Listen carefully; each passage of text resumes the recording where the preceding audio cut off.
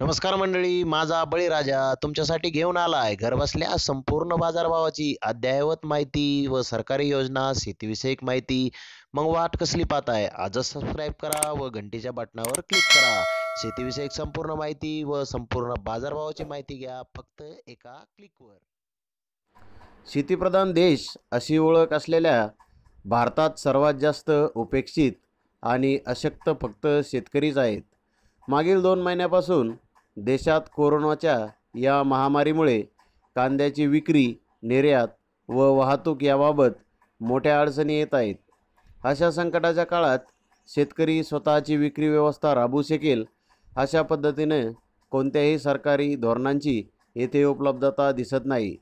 कांदा आज घाऊक बाजारपेठेत पाच ते सहा रुपये प्रति किलो इतक्या मातीमोल भावाने विक्री होत असल्याने राज्यातील कांदा उत्पादकामध्ये प्रचंड संतापाची भावना निर्माण झालेली आहे.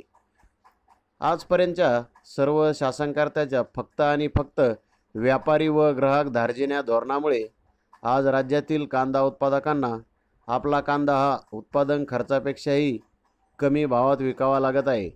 महाराष्ट्र राज्य कांदा उत्पादक शेतकरी संघटना या सरकारी धोरणाचा कडाडून विरोध व निषेध करत असून केंद्र व राज्य सरकारने थेट शेतकऱ्यांचा कांदा खरेदी करणे एवढा एकमेव पर्याय आता उरला आहे.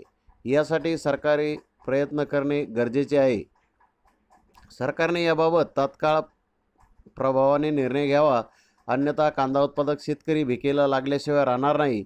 देशाला जीवनावश्यक वस्तू कांदा पुरवठा करणाऱ्या शेतकऱ्यांचे जीवन मात्र अशा परिस्थितीत अनावश्यक झालेले आहे.